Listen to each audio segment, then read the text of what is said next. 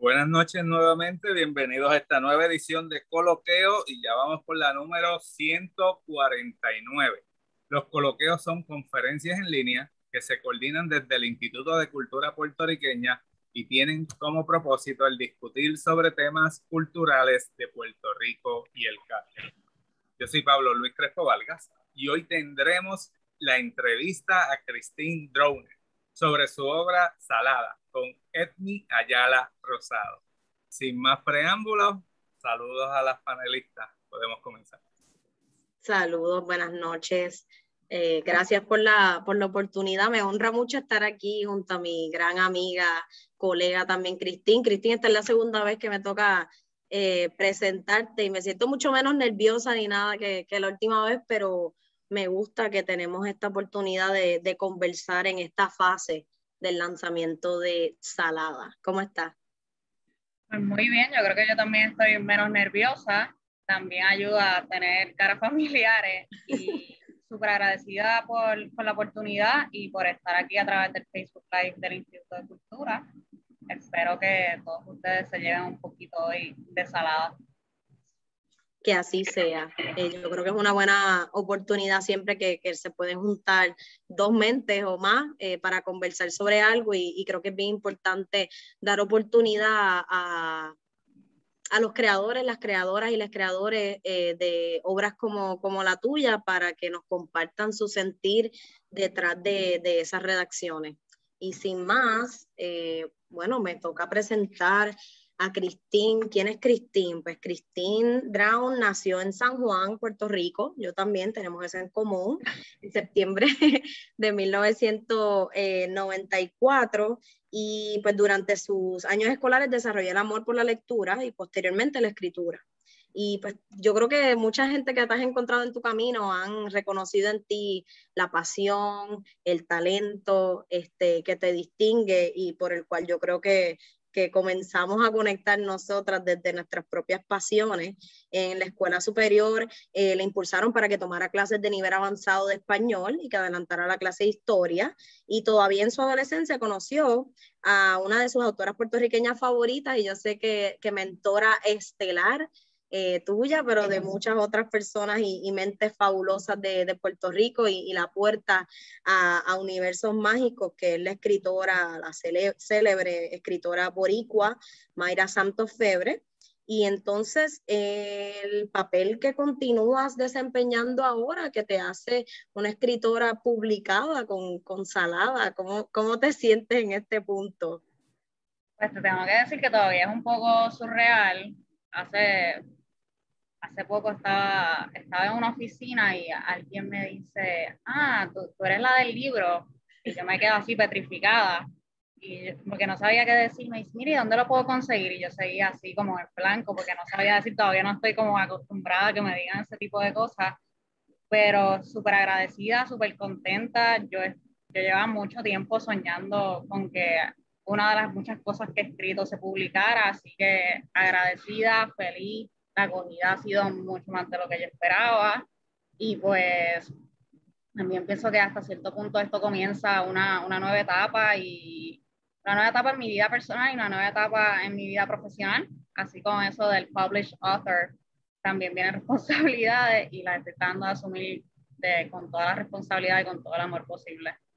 Bueno, puedo decir que te veo, yo que te conozco a nivel eh, profesional y personal, puedo dar fe de que, de que le estás dando tu mejor cara a, a lo que viene con, con, ser ahora escritora publicada y he tenido la experiencia de que personas que, que han comprado tu, tu, poemario, específicamente mujeres jóvenes como nosotras, lo leen y se encuentran en tus letras y recuerdo que cuando hicimos ese primer, eh, ese, esa primer, ese primer intercambio de impresiones sobre lo que es Salada, una de las cosas que tú siempre has reiterado es tu, tu intención de que especialmente las mujeres boricuas jóvenes conecten con tu obra y se inspiren eh, por tu gesta.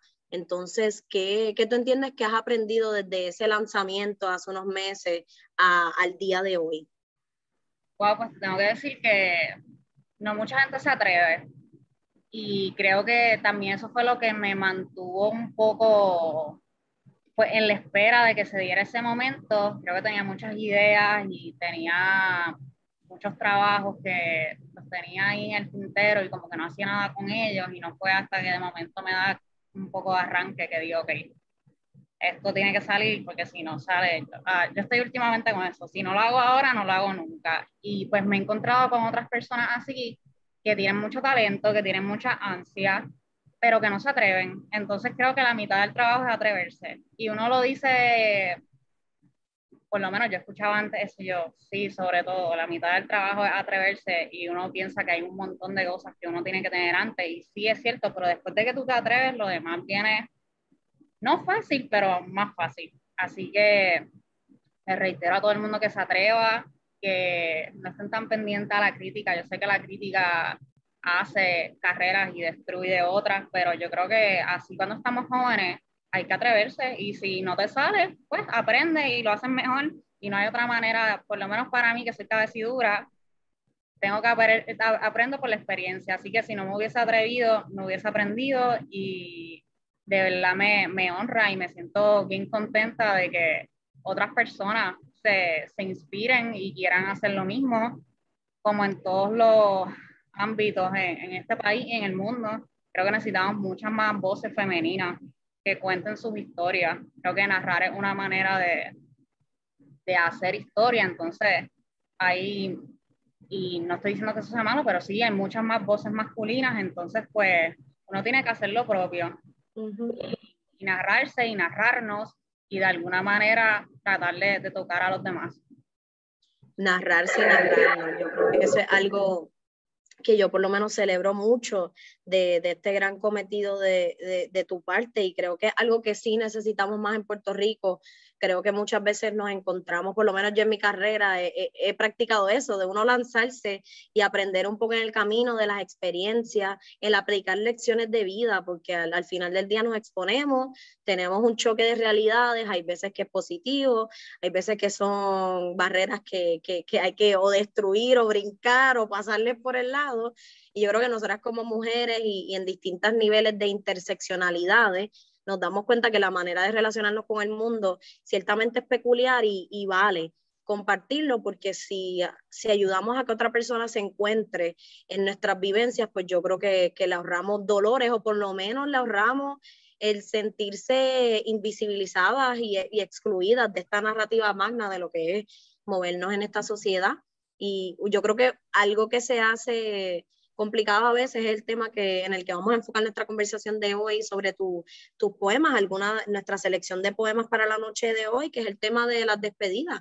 Las reales y las simbólicas. ¿Qué significa eso para ti? Ahorita estábamos hablando de preparándonos para esta conversación y me dijiste eso, esas despedidas simbólicas y las reales.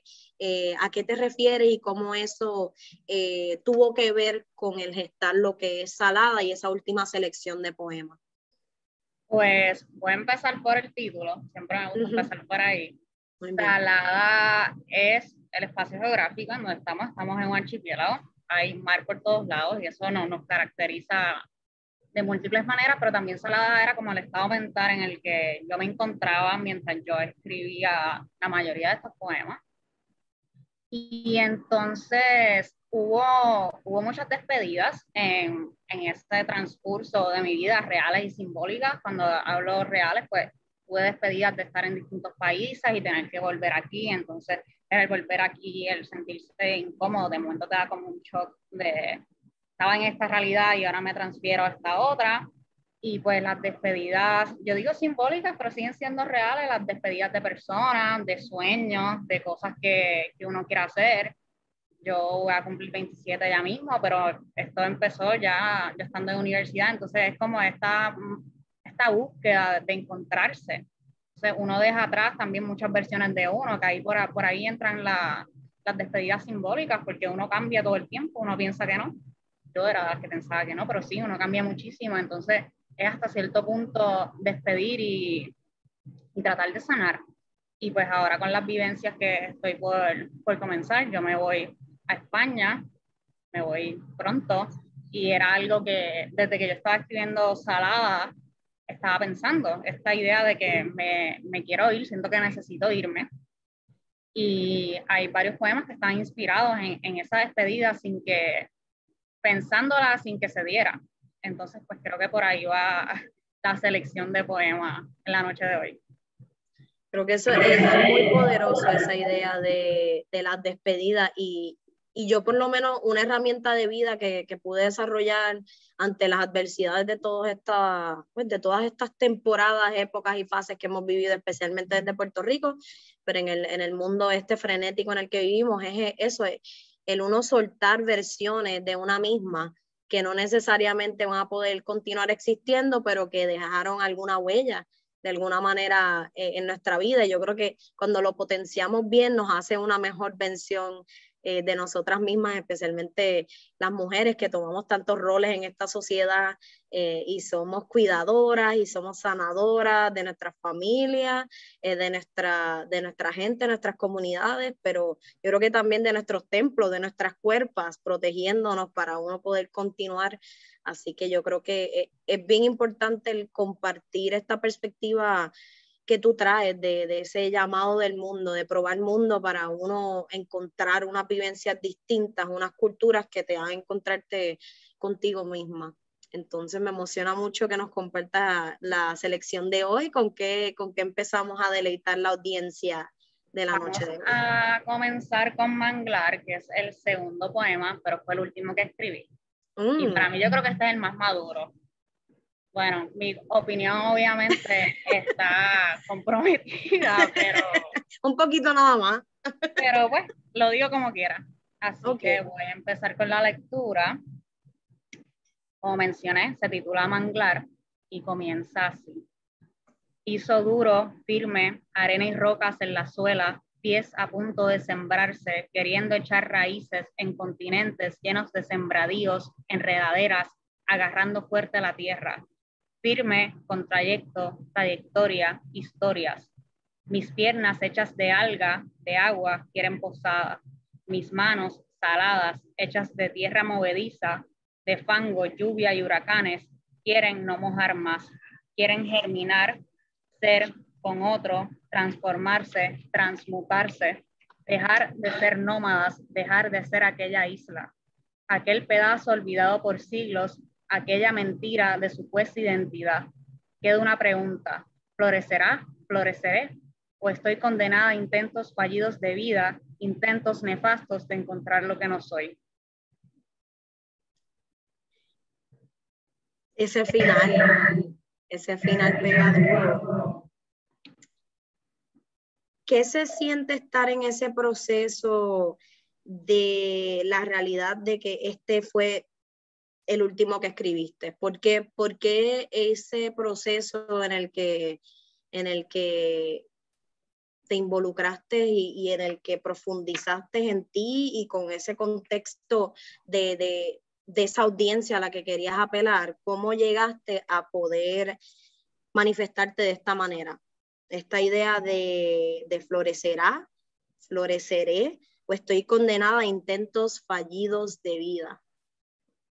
Y bueno, pues como había mencionado anteriormente, yo estaba o todavía estoy en, esta búsqueda de encontrar como mi lugar en el mundo. Entonces, pues me convencí, o hasta el momento estoy convencida de que mi lugar en el mundo ahora mismo no, no es aquí en Puerto Rico.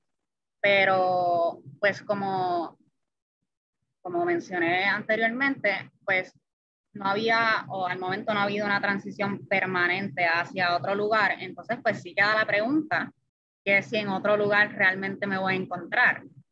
Que es lo, bueno, que hay muchos autores puertorriqueños que, que tratan la, la, idea del exilio y de estar en otra parte y hasta cierto punto irse a un lugar donde, donde no es una isla, creo que, que es algo que nosotros no estamos acostumbrados entonces por ahí empieza en continentes llenos de sembradíos de tierra. Nosotros vemos mar por todas partes y a mí me encanta, hermano, no estoy diciendo que, eso sea malo, pero digo que uno sueña con esta idea de irse a otro lugar, pero pues está el temor de uno de si uno se acopla.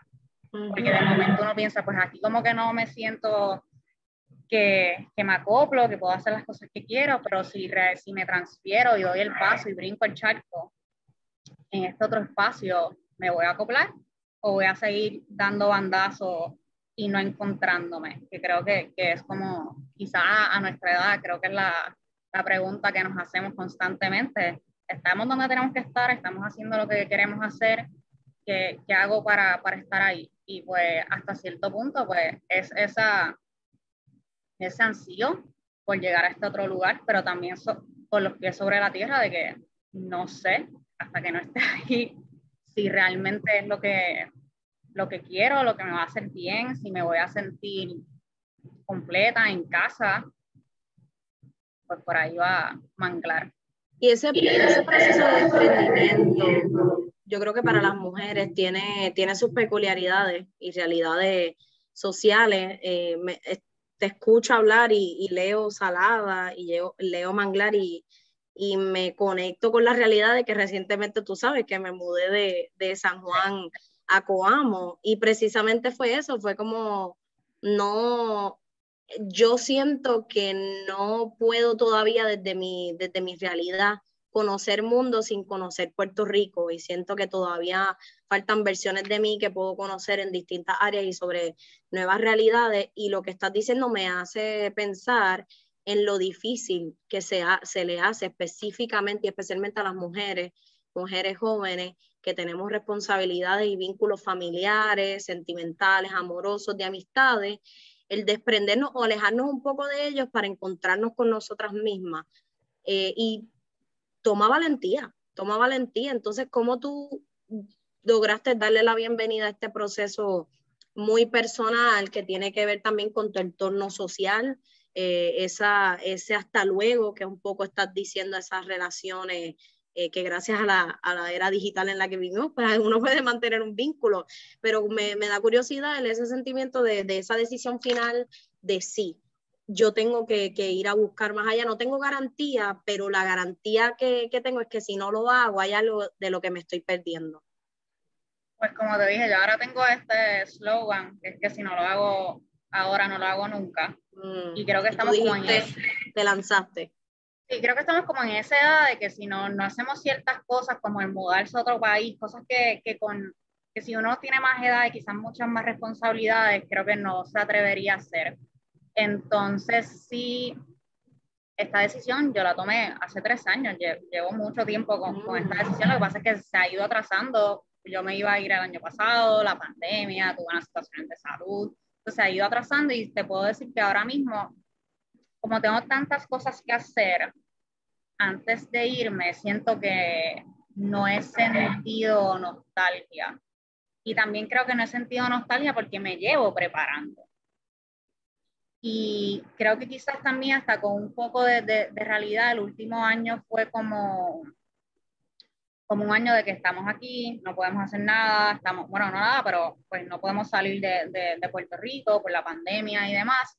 Y entonces sí fue un poco como probar suerte aquí, a ver si, no, no quiero dar spoilers de, de, otro de, los, de otro de los poemas, pero sí fue un poco como probar suerte aquí, a ver qué pasaba, hasta que al final todos los caminos me decían, vete.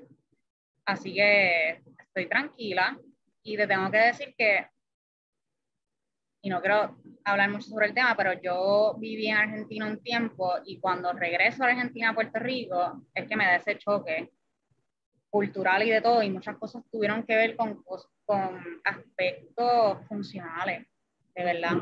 Con aspectos, yo veía que, que en Buenos Aires todo funcionaba y tenía una organización y había alumbrado, que al día de hoy, después de María, aquí mismo en San Juan, hay un montón de lugares que todavía no tienen alumbrado. Entonces decía, como que no es posible, vivimos aquí como en Macondo. Nada. Entonces se, me hizo, el choque de volver se me hizo bien difícil y fue cuando volví que, que tomé la decisión, esa primera decisión de, de reflexionar, fue ahí cuando la tomé y dije, bueno, yo me tengo que mover porque ahora mismo sentí en ese momento que quedarme aquí era como hasta cierto punto aceptar todas esas deficiencias. Hmm. Y creo que es una realidad con la que muchos boricuas se han encontrado, que les ha llevado a, a, a emigrar o de, de, maneras obligadas, obligatoriamente, o, o, simplemente porque uno quiere ganar un desarrollo y poder traer nuevas herramientas para la vivencia eh, puertorriqueña, pero sí creo que son conversaciones sensibles y muy necesaria y, y, creo que es muy poderoso que tú lo puedas manifestar de esta manera en tu obra. Y pasando a las realidades difíciles de estos cambios, viene el próximo eh, poema en la selección para la noche de hoy, que es Vacío. Vacío. Si yo pudiera irme lejos, sin más ni nadie, si me fuera lejos a un lugar donde solo estaría el silencio y yo, lejos, más lejos que, más lejos que nunca, cerca de la cima del cielo o en el fondo del mar, si pudiera irme lejos, donde pudiera ser mi dolor y yo, donde no hubiese nadie con quien contar, si pudiera esconderme más, alejarme de todos, lo haría. Si pudiera irme lejos, desconectaría mi cerebro, me olvidaría de todo y se escucharía la calma. Si pudiera irme más lejos, más lejos que nunca, más lejos que ahora, huiría de los recuerdos, los propios y los compartidos, que programaría todo como si nunca, como sin ayer. Me iría lejos, me aseguraría de que nadie me extrañe, que ni me nombren, y dormiría lo que no puedo despierta, lo que no puedo con vida. Yo no soy la mejor crítica literaria, pero realmente algo que me encanta de tu obra es que tienes estas ideas muy completas y concretas que te dan, te calan hondo y te jamaquean. Y, y esto de, de, vacío, yo soy una persona que, que, soy extrovertida, pero tengo mucho de introvertida. Es como una combinación y me encanta la soledad y me encanta la interioridad y me encanta poder pensar cuando tú piensas en tu audiencia, en tus lectoras, en tus lectores, ¿qué quisieras que supieran sobre ese proceso en tu interioridad? Ese proceso de cómo tú decides compartir tu intimidad. Pues mira, yo creo que por lo menos en lo que tiene, en, lo, en mi poesía, yo creo que en un principio no se trata de compartir, sino de entenderme. Y mm. creo que, que, ese es el primer paso que, que yo tomo cuando hago poesía. Quizás tengo un, un revolú en, en, la mente o en el corazón, entonces para entender lo que me está pasando, porque a veces como que me abrumo con, las emociones, me, me, pongo a escribir y por lo menos en Vacío, Vacío fue bien cerca cuando yo regresé de, de Argentina. Entonces llegué aquí y me, me, sentía desorientada, de verdad me sentía desorientada, yo creo que me sentía hasta deprimida y me sentía sola. Y no era la soledad que, que yo sé que a nosotras nos gusta, porque yo soy una persona que, que me gusta estar sola, pero era como una soledad de, de otro tipo, como de desolación. Me sentía desolada. Entonces, no, no, quiero, no quiero sonar como, creo que hay que hablar más de, de estos sentimientos que no nos gustan, porque muchos hablamos de, de la felicidad y estar positivo y eso está bien, pero el hablar cuando uno está mal y, poderlo conversar con otras personas y que esas personas no te juzguen, creo que es aún más importante, porque vivimos, yo creo que aquí en Puerto Rico tratamos de, sacarle como el lado positivo a todo y no te preocupes, va a estar mejor y sí, eventualmente se pone mejor, eso es cierto, en, cualquier situación. Es, es poco difícil que se ponga peor pero en términos de, de, lo que nos pasa por dentro, las batallas que cada uno tenemos, que a veces no se las contamos a nadie. Y si alguien puede conectar con, con, con eso que yo, puse, que yo puse ahí y quizás de alguna manera entenderse o decir, wow, esto era lo que me pasa, esto es lo que me pasa, o esto era lo, lo, lo que me pasaba, pues yo creo que estamos un, un paso más, más cerca a tener más salud mental, a poderlo hablar con otras personas, a podernos entender, porque a veces estamos en automático y yo me he dado cuenta que es muy como de nuestra generación eso de andar en automático y como que no necesariamente pensamos en las cosas. Y yo me cojo a veces en eso, de momento me han pasado tres cosas buenas en el día y digo, wow, como que me siento triste. Y no, y de momento es como, para, ¿qué, ¿qué pasó? Y a lo mejor lo que pasó fue hace una semana. A veces no nos damos ese tiempo como para procesar emociones y procesar eventos y creo que a veces eso también es lo, lo que nos tiene como país con, con, la salud mental tan, tan afectada. Así que por lo menos el, el apalabrar lo que sea, pero el apalabrar lo que uno siente y lo que está en su mente, creo que es muy potente y ayuda y sana. Sana. Ahora mismo en el, en el trabajo que, que tengo, que coordino el proyecto, o aquí nos pidamos, estamos trabajando el tema de la salud mental en las comunidades y en esa investigación de entender cuáles son esos mensajes que necesitamos promover en Puerto Rico está eso, que las emociones, no hay emociones ni buenas ni malas, son emociones. Y, y yo, me, yo me he dado cuenta al tratar de promover bienestar en mí y en las personas a mi alrededor, lo importante que es eso que tú dices, de, recibir a las personas tal cual se presentan y, validarles su existencia, no importa la, que sea. Y muchas veces cuando vemos a una persona que queremos triste, desolada, pues en lugar de acompañarles en el sentimiento y ayudarles a ganar perspectiva, queremos amortiguar y apaciguar ese, ese sentimiento porque al final del día nadie quiere ver a alguien que uno quiere ver sufrir, pero las emociones las vamos a sentir eh, así que de verdad creo que se ajusta, la realidad que describe se ajusta tan bien a lo que estamos viviendo como generación y, y ese es el poder de, la escritura y ese es el poder de, de la vulnerabilidad. Cuando pensamos en vulnerabilidad, que yo creo que tú, yo te conozco personalmente pero puedo verte, te leo y te siento ensalada en cada palabra, en cada verso. ¿Cómo es el proceso de llegar a esa comodidad con la, vulnerabilidad, con la vulnerabilidad a ese punto que te, estás desnudando ante, ante quien, quien decida inmersionarse en este mundo que tú estás creando a través de tu obra? Pues fíjate, yo creo que quizás el lograr ese grado de vulnerabilidad fue un principio porque yo no estaba pensando esta obra en particular como algo que iba a publicar. Entonces hay mm. mucho, no, no estaba pensando en si me leen, si me juzgan, o sea, fue algo muy, muy personal y yo creo que tú y yo lo habíamos conversado, que decía, yo no sé si la gente va a conectar con esto, porque yo decía como que todo fue algo que estaba en mi cabeza. o sea, no. Entonces, pues algo sí que pienso que es bien importante en todo tipo de escritura, y eso me lo enseñó Mayra, es que cuando uno dice la verdad, aunque sea tu verdad, y yo quizás no la comparta, eso se siente y se lee distinto. O sea, hasta cierto punto como escritora me, me hago autochecks todo el tiempo. Porque ahí hay gente que, que logra hacer muy buenas obras desde la distancia. Eso está bien pero yo creo que cala distinto cuando, cuando uno lo siente y sabe que eso es real.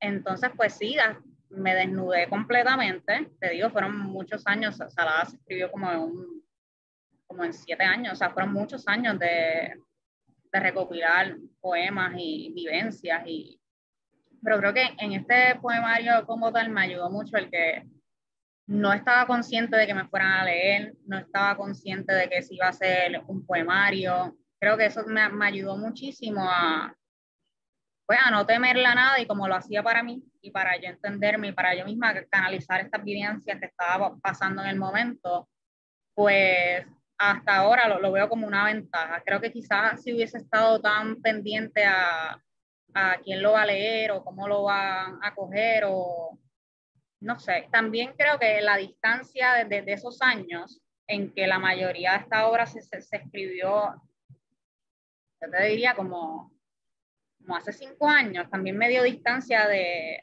de ver las cosas de otra manera. Si la hubiese, si lo hubiese publicado al momento con lo que tenía, quizás no me hubiese sentido tan cómoda. Porque hasta cierto punto es una ventana que la gente está mirando hacia ti, hacia adentro, hacia tu vida por más de que creo que, en este poemario trato de que las ideas son más como universales, no, no hablo de situaciones tan específicas como sé que, que, otros colegas y otros escritores lo hacen. Pero sí, pienso que, como te dije, el, el estar con uno mismo y no pensar eh, en los demás y cómo los, los demás lo van a leer fue la mejor herramienta para ser vulnerable y se percibe, palpable. Uno lee Salada, se siente como un encuentro muy íntimo eh, contigo y tus pensamientos y, y, emociones, y me parece genial que más mujeres y personas y lectores se conecten con esto que, que tú sentiste muy, muy tuyo, pero se convierten en estas verdades universales. Y entonces cuando estamos hablando de procesar, hay mucho de, de, silencio, de calma, de descanso, para poder dar justa interpretación a eso que pensamos, sentimos, y de eso trata un poco el próximo poema que nos tienes, que es Descansé. Sí, em, se titula Descansé y se lee así. Hoy hizo frío, el mismo frío que tenía cada vez que dormía contigo. Me quitabas la frisa, pero me acercabas a tu cuerpo para sentir tu calor. Puedo contar las veces que me abrazaste en las noches, pero no cuántos besos te di dormido, ni el tiempo que pasaba sobando tu pelo. Las muchas veces que besé tu cara, nunca descansé cuando compartíamos una cama. ¿Será que sabía que iba a terminar y aprovechaba hasta el último segundo? Que no daría por verte desnudo esperándome en la ducha, compartir esas intimidades que solo los buenos amantes por costumbre o confianza comparten. Decirte mis secretos más oscuros y mis peculiaridades más extrañas. Hoy hizo frío, de ese que no quema. Hoy hizo frío porque llovió, pero también hizo frío porque ya no estás. Eso sí, es una despedida real. no, no es simbólica, no es simbólica. No, y cómo, ¿qué nos puedes compartir sobre, sobre esa despedida real y cómo, pues yo creo que yo creo que muchas de nosotras específicamente, que creo que un público de, mujeres se va a, encontrar con esta realidad de manera mucho más rápida, esos amores que llegan a, darnos momentos felices, de éxtasis, pero también un poco ese duelo de esas versiones de nosotras y, y ese adiós que muchas hay veces que nos damos cuenta en el momento que nos conviene y que ya es hora de, decir adiós a ese vínculo y hay momentos en que nos agarramos un poco eh, a, eso que sentimos. ¿Cómo tú experimentaste eh, ese adiós que nos describe en Descansé? Yo creo que no fue hasta como hace dos años que yo me aferraba. Creo que mm. también tiene mucho que ver con, con esta idea de que nos inculcan, nosotras las mujeres, como que de de tratar de, de, estirar el chicle. Yo lo digo eso ahora. Sí, eh, como que nos inculcan estirar el chicle y como que aguantar y ver si cambia, si somos más compatibles. Yo, yo creo que eso le ha pasado a nuestras abuelas y quizás se quedaron ahí toda la vida. Pero ese poema en particular es la, la aceptación de que te extraña, pero esto se acabó. Y estoy aceptando este sentimiento de, de duelo, porque es un duelo, es como si, esto lo, lo, dice mi psicólogo, es como si cuando uno se deja de alguien, es como si esa persona hubiese muerto, o sea, no murió en la vida real, pero murió en tu vida. Entonces, pues es un proceso de duelo que la gente no lo piensa así, pero lo es. Entonces, pues yo creo que ese en particular es más como de, de, de aceptación de, sí, me duele, sí, estoy aquí, sí te extraño, pero realmente ya es hora como de, de aceptarlo y quizás hasta cambiar, hasta pasar la página. Y creo que en, nuestra juventud, yo estoy diciendo juventud y estoy a la idea de nada de los 27, no sé cuánto, me, cuánto tiempo. Mija, no empieces que yo también, no, no entremos en eso que al otro lado en Facebook nos está viendo una que diga, muchachos, no hables de eso, que yo voy para 35, 45, 55, 65. Pero lo que quiero decir es que creo que como de los 18, yo creo que a los 20 Dios mío, uno conoce a tanta gente. Y, y más como en el ambiente universitario, uno conoce muchos amigos, conoce a parejas, conoce todo un mundo de personas y no necesariamente están para que estén toda la vida. Entonces también eso es evolucionar y crecer. En el momento, obviamente, lo, lo sentía como que lo peor que uno, uno siempre piensa que es lo peor que le puede pasar a uno hasta que llega algo peor aún y ya después llegas un momento en que te das cuenta, si sobreviví esto y sobreviví lo otro, lo que venga, lo puedo sobrevivir. Pero toma tiempo llegar ahí, toma tiempo y, a veces uno escucha los, consejos de, de, de personas mayores y uno dice, ah, estos nunca vivieron pero o no saben lo que, lo que yo estoy sintiendo. Yo era de ese, yo, ah, mí no sabe de lo que hablo. mami está ahí hablando como que con la mente. Y sí, hablan con la mente, pero es sabiduría. Es sabiduría. Y hay algo, y yo he aprendido lo mismo con mi madre, que hay algo que uno solamente aprende con el pasar de los años. Y por eso yo encuentro el envejecer como algo tan hermoso, tan hermoso como natural, eh, pero el envejecer y el madurar y el vivir esta, estos momentos de vida instancias simplemente están para hacernos unas versiones más completas y más, y más maduras. Y yo creo que un, un tema muy importante que, que, a veces obviamos tocar es nosotras las mujeres cuando estamos en estas relaciones trascendentales que dictan mucho de nuestras vidas, guían nuestros intereses, guían nuestras energías y no se habla lo suficiente sobre la importancia de proteger tu esencia eh, en estos encuentros eh, con otras personas que lleguen a tu vida. Sí, estoy muy de acuerdo con ella y creo que también voy a seguir hablando de la edad. Claramente algo que estás procesando. Sí, procesando. Pero lo que quiero decir es que tengo muchas personas a, mi alrededor que están con teniendo hijos y casándose y, y demás, y por lo menos yo soy una persona que no, no me veo en esas, y ¿sabes? que nunca me he visto tan, tan en esa, de, de esa percepción como tradicional de la familia, y creo que para las mujeres se nos hace bien difícil porque hay tanta presión. Al día de hoy pienso que hay tanta presión de, de tener una pareja. Vamos a empezar con tenerla. Siento que ese es eh, el tópico de las reuniones familiares. Y no importa lo que esté pasando en tu vida, si no tienes pareja, no estás en nada, según la lógica familiar. Sí, y, y, a veces hay mucha, y supongo que también pasa a la inversa con varones, con, con todas las responsabilidades que también ellos llevan, pero creo que esa idea de, de mantenerse y ser uno la esencia o ser se la hace más difícil a, a la mujer porque la mujer tiene muchos sombreritos. Sí, se espera que tú cedas mucho más de ti, de tu tiempo, de, de, todo, para hacerlo funcionar. Tienes muchas responsabilidades en sostener ese vínculo.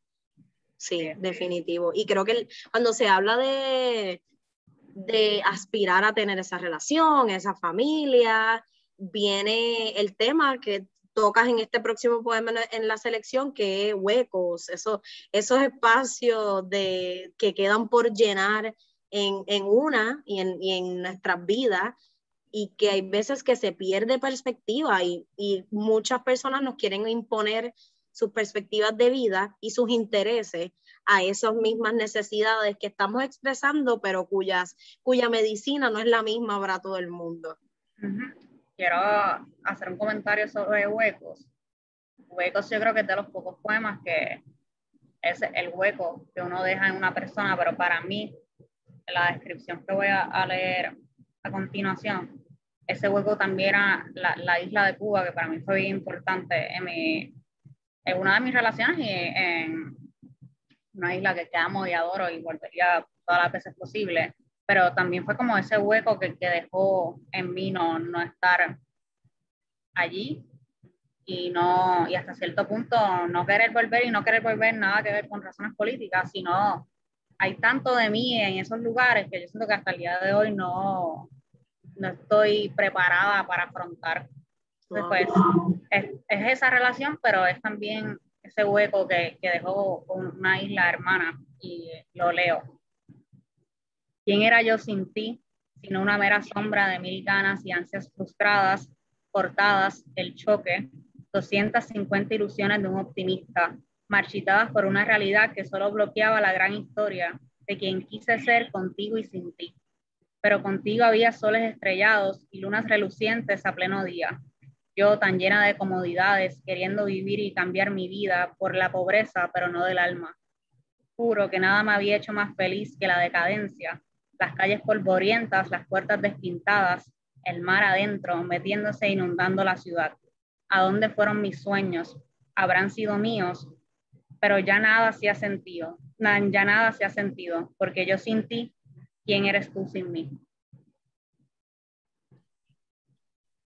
Me recuerda cuando uno termina esas relaciones que, que por, por mucho tiempo o poco tienen, dejan esta huella grande en, en nuestras vidas y cómo es, es, mutuo. ¿En qué, ¿En qué momento, si recuerdas, tú englobaste el sentimiento detrás de este poema? ¿Qué, ¿Qué, momento, qué experiencia, qué sentimiento? ¿Hubo un momento que tú puedes identificar donde se concretizó esa idea detrás del poema?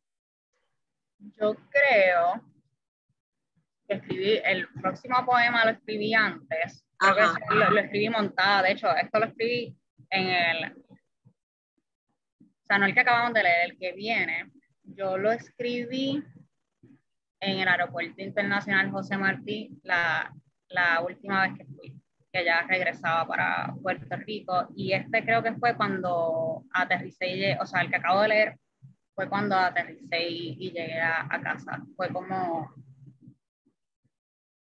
como esa despedida, ya no estando en ese lugar, en, ese hueco. Mm.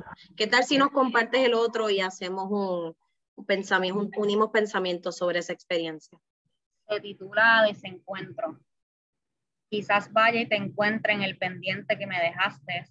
Quizás te vea de nuevo asomándote en un sueño pero es que desde aquel avión me alejé de tu recuerdo, desde aquel avión solo quedó el olvido. Y es que aún me dueles dentro, aún me lates fuerte, aún quedan sentimientos. Hay días que te veo desde algunas fotos, vagabundeando entre mis pertenencias, pero desde aquel avión me alejé de tu recuerdo, desde aquel avión solo quedó el olvido. Y es poco decirte que fuiste el amor de mi vida, el mejor de mis momentos, que no he vuelto a ser yo desde aquel avión. El principito está está en mi mente y la rosa en tu corazón, pero ya no es un hasta luego, nos tocó decir adiós. Desde, desde este avión me alejé de tu recuerdo, en mí solo queda el olvido, el olvido que aún recuerdo, el que siempre queda vivo. Wow. ¿Cómo se siente? Porque lo hemos experimentado y pasa muchas veces cuando tenemos que decir estos adiós y estas despedidas eh, obligatorias o esas decisiones de vida maduras que, a veces pasamos la página y decimos adiós por nuestro bienestar, pero queda ese reconectar con una misma, con tu esencia y recuperar, pero también llegar a esa nueva versión de una, eh, eh, entre aeropuertos y, y desamores. ¿Cómo tú crees que ha sido ese proceso de tú llegar a conectar contigo misma después de vivir esto adiós, este adiós? Bueno, yo sentía, y suena exagerado, pero yo sentía que era como si yo me estuviese muriendo y en parte sí se estaba muriendo una parte de mí. Y, y quizás ahora con, con, distancia uno, en el momento uno dice como que siento que me estoy muriendo y la gente como que no te cree, pero realmente se está muriendo una parte de ti, se está muriendo toda, toda una conexión que tú tenías con, con un lugar o con una persona. Y en perspectiva, ahorita digo, yo soy de las que me aferro a las cosas, pero en perspectiva ya con más madurez, me doy cuenta que, que si no fue, si no hubiese sucedido como sucedió, quizás hubiese perdido mi, mi sustancia y las cosas que, que, yo quería hacer por, por estar con, con, una persona, porque en términos de, lo que queríamos para nuestra vida eran cosas muy distintas. Y creo que ninguno de los dos, esto hablo por la persona y ni siquiera sé si es así, pero pienso que, que por ambos ninguno hubiese podido ser realmente o completamente feliz con, con la decisión de, de, estar con el otro, porque pues ahí queremos distintas cosas y hay, por lo menos yo, ahora estoy en el momento, yo, yo sé en, en, qué yo puedo ser, en qué cosas no, pero las cosas que, que, esa relación y esa persona quería, yo no iba a ceder en ese momento y no voy a ceder ahora. Así que creo que para, por nuestro propio bien, por nuestra propia felicidad, probablemente habrá otra persona que para él, tanto como para mí, que pueda congeniar mejor nuestros intereses y lo que queremos hacer con nuestra vida. Pero pues sí, en, el momento duele porque para mí fueron como dos despedidas, no fue solamente la persona, sino no fue eh, eh, ese país. Y pues esta idea de, de quién de quién yo me veía o cómo yo me proyectaba haciendo. Entonces también es, dejar un poco atrás esa, esa ilusión de hasta cierto punto un sueño, una versión de ti que tú crees que estás creando y de momento no.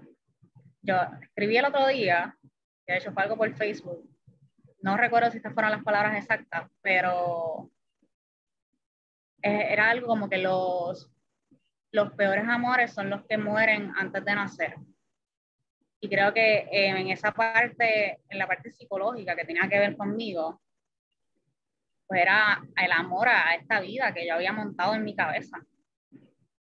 Y darse uno cuenta que no, que no existe y que probablemente no va a existir.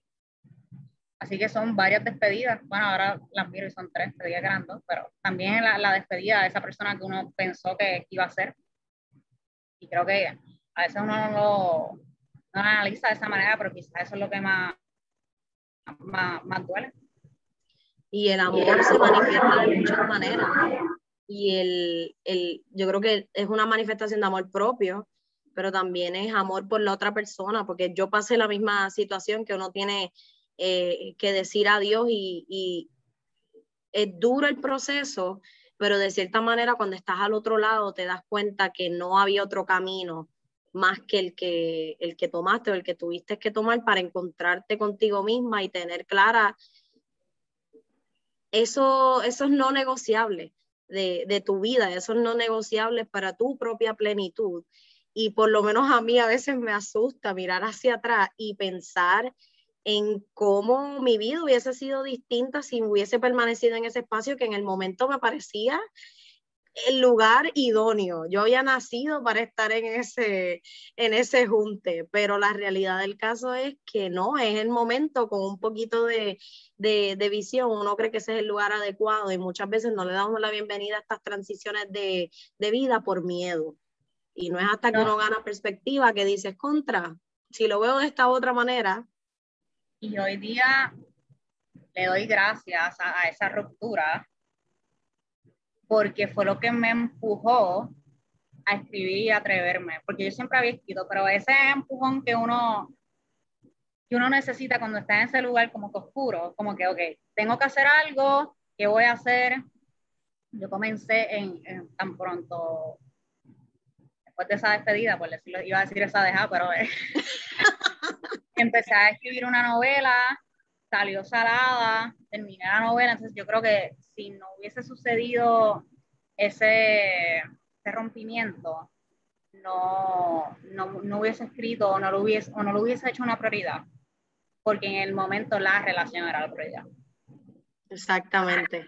Yo creo que muchas personas se pueden identificar con ese sentimiento y, y hay maneras, yo creo, de, de tener esos vínculos de, de forma mucho más saludable eh, y que sean íntegras a nuestra propia experiencia de vida personal y tienen que venir esas dejas para uno poder apreciar, yo creo, y tener claro esas cualidades que queremos de esa persona y eso no, no negociable.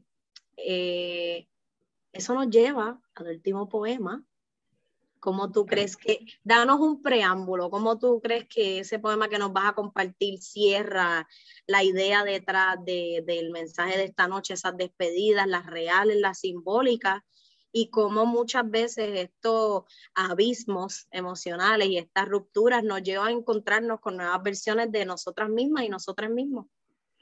Pues se titula Las razones y es una despedida contundente y me remonto al principio de, esta conversación, un momento en que yo traté de agarrarme de, muchas cosas y me traté de agarrar a ver, probar suerte, a ver si encontraba a alguien, encontraba algo que me hiciera cambiar de, de pensar y que me dijera, no, quédate. Y este es el poema de todas las razones por las cuales me tengo que ir. Así que comienzo, como mencioné, se titula Razones y dice así. Vivir en el país se había convertido en batalla. Los que se quedaban no sabía si era por ignorancia o por la imposibilidad de irse. Yo no paraba de buscar razones para marcharme, así que planifiqué bien mi huida. Vivir en un país quebrado tiene el efecto de asfixiarte, de romperte, de hacerte creer que lo mejor está en otra parte. Vives mendigando días futuros con la esperanza de que el reloj acelere. Vives buscando razones para mantenerte vivo. Vives buscando excusas para respirar. El tiempo pasa y aparenta seguir dándome razones, más argumentos para escapar. pero te juro, amor mío, que cuando llegaste eras la razón, la única razón, la excusa que necesitaba, el ímpetu para quedarme. Pero el país, el maldito país, las circunstancias, la vida y la muerte y tú me dieron una razón más para volar. Como cómplice de mi propio plan maestro, aportaste a la balanza de la fuga, cuando eres tú la mejor de las excusas para quedarme. Yo creo que ahí en ese, en ese último verso, en esa última estrofa completa, se puede ver el, el que sí son las razones para irme, pero también busque razones para quedarme. Y no, cuando uno lo pone una balanza, la balanza de irse pesaba más que, la que las razones para quedarse. Y en este momento, hasta luego a, a Puerto Rico, que te, que estás pronta a partir a este nuevo proceso y etapa de vida, ¿cómo tú crees que, que tu acercamiento a estas despedidas reales y simbólicas ha madurado y cómo, cuál es la expectativa que debe tener tu nueva audiencia eh, sobre tus obras y, la manera en que te comunicas a través de tus canales y esta comunidad que estás creando a través de tu obra? Yo creo que por las últimas conversaciones que, que, he tenido y personas que han conectado a través de, de, columnas, del mismo poemario, a través de mis redes, que esta, este tema de las despedidas toca mucho a las personas y es porque tenemos a cuatro millones casi en la diáspora. Son muchas personas las que se han tenido que ir, así que hasta cierto punto he conectado personas que de otra manera no, no creo que hubiese sido posible. Y pues los invito a, a que me alean, a que me acompañen en el proceso, porque uno siempre necesita acompañantes, aunque sean virtuales. Yo sé que esto de la pandemia todavía nos tiene un poquito alejados hasta las personas que, que son cercanas. Pero en términos de, de las despedidas, pues cada cual la procesa a su manera y estoy muy muy consciente de que lo procesan las personas a su manera y a su vez tienen sus posturas sobre lo que significan las despedidas. Sean las, las, despedidas reales de, tomar un avión o lo que sea e irse y también lo que significa simbólicamente eh, esa despedida, o sea, la, la, ideología que viene detrás o lo, lo que uno piensa y te hace reflexionar por qué nos estamos yendo? Que creo que esa pregunta no las hacemos, pero ya es casi esta retórica, ni, ni, ni, ni la pensamos a profundidad. Y quizás el, el, cuestionarnos cada uno por qué nos estamos yendo y cuáles son las razones para irse es lo que motiva a otras personas o luego en nuestra vida nosotros mismos a, a volver y no seguir dándole razones a otras personas para que se vayan. Wow, nos llevamos tarea. Quiero agradecerte, Cristín, por la, por la confianza y la oportunidad de, de poder compartir contigo en este proceso.